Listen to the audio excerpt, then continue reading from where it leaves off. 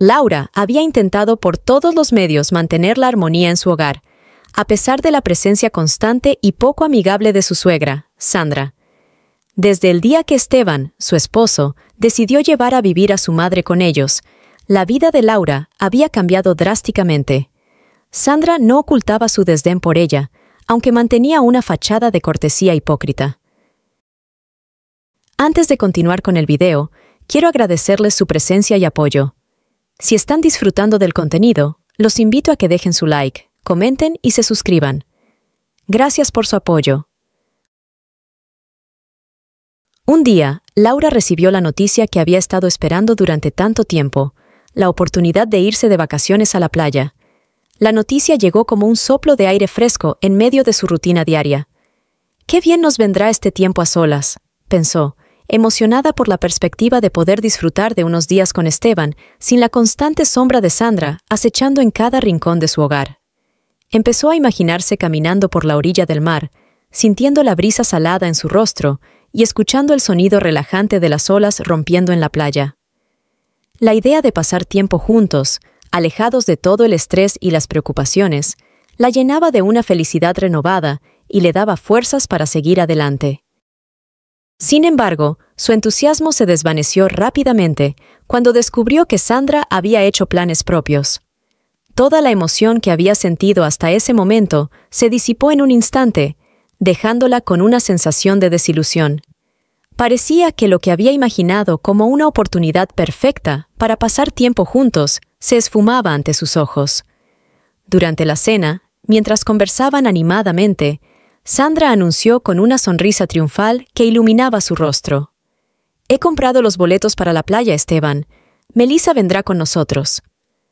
Laura no pudo evitar fruncir el ceño al escuchar esto. ¿Melissa? ¿La exnovia de Esteban? Sandra asintió con descaro, sin mostrar el más mínimo remordimiento. Sí, querida. Pensé que sería un buen momento para reunirnos todos y ponernos al día. Además, tú puedes quedarte en casa y descansar. Seguro que te vendrá bien un poco de tiempo para ti sola. Esteban, notando la tensión en el aire, intentó mediar. Mamá, eso no era lo que habíamos hablado. Sabes que Laura y yo planeábamos este viaje juntos. Sandra lo interrumpió con un tono autoritario. Esteban, tú sabes que lo mejor es que pasemos este tiempo en familia. Laura lo entenderá y no habrá ningún problema. Es una oportunidad para que todos nos llevemos bien. Laura se levantó de la mesa con movimientos controlados, conteniendo la furia que ardía en su interior. Sus manos temblaban ligeramente, pero su voz se mantuvo firme. Claro que lo entiendo, Sandra. Disfruten sus vacaciones. Yo encontraré algo más que hacer. Con esas palabras salió del comedor, dejando atrás la incomodidad palpable y la mirada de Esteban, que reflejaba una mezcla de culpa y desconcierto. Laura sabía que era hora de tomar decisiones importantes sobre su futuro. Los días pasaron lentamente para Laura, cada uno más tedioso que el anterior, mientras observaba a Sandra y Esteban partir hacia la playa con Melissa.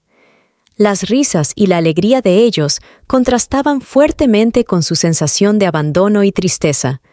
Sin embargo, en lugar de sentirse derrotada y dejarse consumir por la desesperanza, Laura tomó una decisión firme y valiente.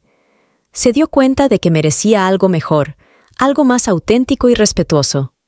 Con determinación, consultó a un abogado para informarse sobre sus opciones y sin vacilar, comenzó los trámites de divorcio. Era el momento de recuperar el control de su vida, de reconstruir su identidad y buscar una nueva felicidad. Este acto simbolizaba no solo el fin de una etapa dolorosa, sino también el inicio de un camino hacia su propia libertad y bienestar. Cuando Sandra y Esteban regresaron de sus vacaciones, no se imaginaron lo que les esperaba en casa. Al entrar en la sala, se encontraron con una inesperada sorpresa. Laura estaba sentada allí, esperando por ellos. Sobre la mesa, de manera imponente, estaban los papeles de divorcio. ¿Qué es esto? preguntó Esteban desconcertado. Laura lo miró fijamente. Esto es lo que pasa cuando alguien se da cuenta de que está siendo utilizado y menospreciado. Estoy pidiendo el divorcio, y ustedes tienen que abandonar mi casa inmediatamente. Sandra se echó a reír, una risa cargada de incredulidad y desdén. ¿Tu casa? Querida, la casa es de Esteban. eres tú la que se irá, dijo con una sonrisa arrogante, como si ya hubiera ganado la partida. Laura, sin inmutarse, esbozó una sonrisa tranquila, una que reflejaba una calma inquebrantable y una seguridad que parecía desafiar la situación. Lamentablemente para ti, Sandra, la casa está a mi nombre, así que ambos tienen que irse, respondió con una voz firme y clara, cada palabra pronunciada con una precisión que cortaba el aire. La incredulidad en el rostro de Sandra se transformó rápidamente en una burla sarcástica. Esteban, que hasta entonces había estado observando en silencio, dio un paso adelante con una expresión de asombro que no podía disimular. No puedes estar hablando en serio, Laura, dijo, sacudiendo la cabeza como si quisiera despejar la confusión de su mente, todavía sin poder creer lo que acababa de escuchar. Laura sostuvo la mirada de Esteban, sus ojos brillando con una determinación feroz. Nunca hablé más en serio en mi vida, replicó con una convicción que no dejaba lugar a dudas.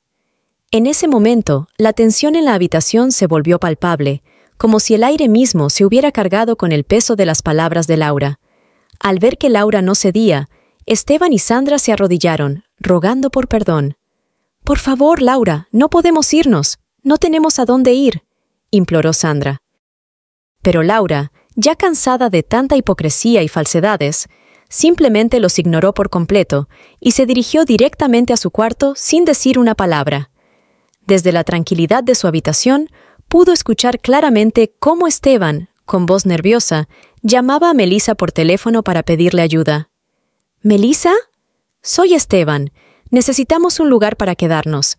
¿Podríamos ir a tu casa? La respuesta de Melisa fue clara y contundente. Esteban, fue divertido ir a la playa con ustedes, pero no estoy loca como para meterme en sus problemas. Lo siento, pero no puedo ayudarlos.